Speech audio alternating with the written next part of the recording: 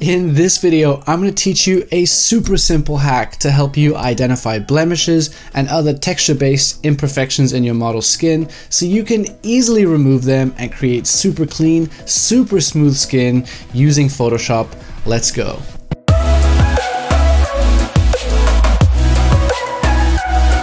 What's up guys, Justin Laurens here. Now when it comes to portrait photography, a proper skin retouching regime is an absolutely essential part of creating high quality and impactful portrait images and typically incorporates at least two of the following three important steps, addressing blemishes and textural imperfections, tonal and color inconsistencies, as well as a third option that addresses skin polishing. Now, when it comes to step number one, removing texture imperfections and blemishes in the skin, quite often it can be quite difficult to see where the problematic areas are and what needs to be removed. So in this video, I'm going to teach you a super easy little Photoshop hack to help you identify these problematic areas and to quickly and easily remove these types of blemishes. So without further ado, let's dive into Photoshop and begin.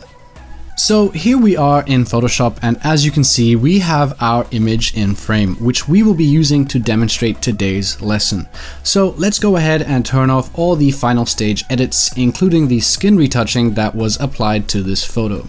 So right now we're at square one.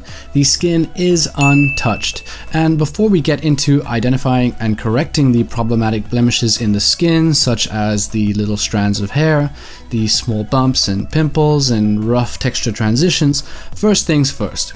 You're going to want to set up your retouching method of choice. Now, my personal preference when it comes to creating flawless texture is to use frequency separation.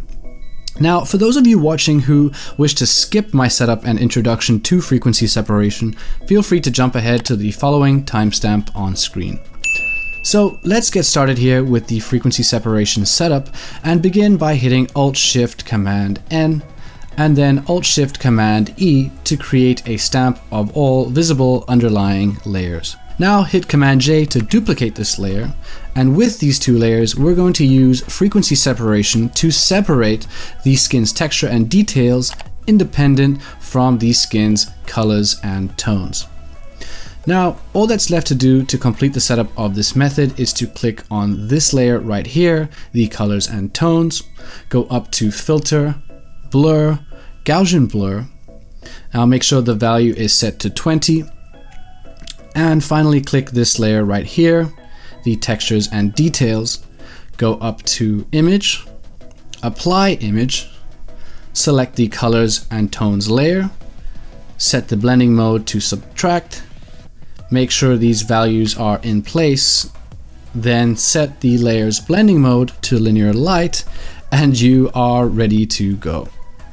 So now that you've set up your retouching method, it's time to put the amazing power of Photoshop to good use by making it super easy to identify where we want to focus our attention when it comes to blemish correction. And to do that, all you need to do is go down to the new adjustment layer right over here, click on black and white, and you should see this black and white properties pop up appear on screen. Now have a look at these different color sliders over here. Each of these represent the different colored pixels that exist within your image. By moving these sliders left or right, you will either brighten or darken the pixels of each represented color. And since the dominant color in our skin is red, all you need to do is simply go ahead and click and drag the red slider to the left to darken and thus clearly reveal all the existing texture imperfections in your model's skin. Now have a look at that. Isn't that amazing? This temporary filter will now make it so much easier to identify the troublesome areas in your model's skin. So now with this filter in place, we can go ahead and move forward with our frequency separation and quickly get to some easy blemish removal.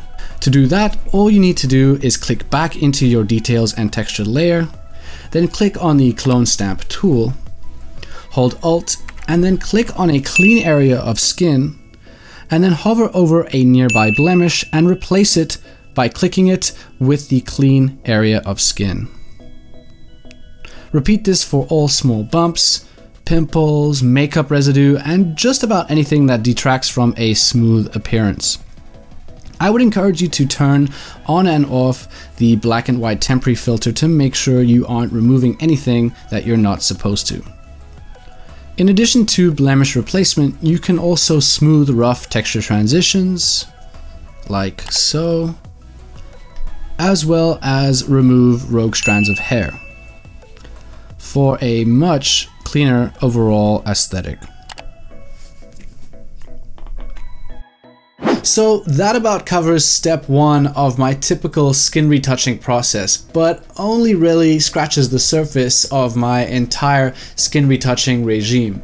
If you're curious to learn more about my complete skin retouching process from A to Z, plus my full portrait editing workflow from A to Z, including color grading tones, etc., etc., check out the link in the YouTube description down below. If you haven't already, hit that subscribe button, and I look forward to seeing you next week for the next video. Take care for now, guys.